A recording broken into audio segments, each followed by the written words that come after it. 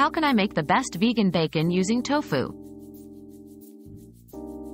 To make world-class vegan bacon from tofu, start by pressing tofu to remove excess water. Thinly slice it into bacon-like strips.